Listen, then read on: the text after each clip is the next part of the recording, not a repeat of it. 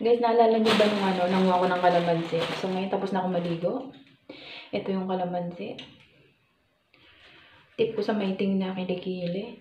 So ako yung kilikili ko 10 months nang hindi nabunutan. Ah, March, April, May, June, July, August, September, October, November, December, January, 10 months na. So magbubunot na ako ngayon. Maawa na ako sa kilikili ko. So ang buhok sa kilikili, akala ko ano na ermitanyo. So hindi pa pala. Ayan. Nakita nyo ba yung maitim na yan? Buhok yan. 10 months na yan ha. Tingnan mo. Maputi pa rin siya pero yung buhok niya parang ano, buhok ng pusa. So ito. Bago kayo magbunot, pagtapos nyo maligo, ganyan.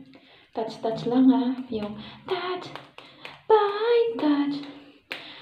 Hindi ko kuskus masusugat yan. Ayan. Yan. Yan mo lang yan dyan.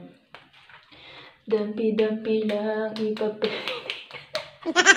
Sekreto sa mabubuting Pilipino. Kalamansi lang gamit nyo. Kuskus nyo rin sa singit. Yan. So, yan ang gamit ko. Tapos magbubunot na tayo, guys. Squeeze, squeeze, squeeze. Yeah!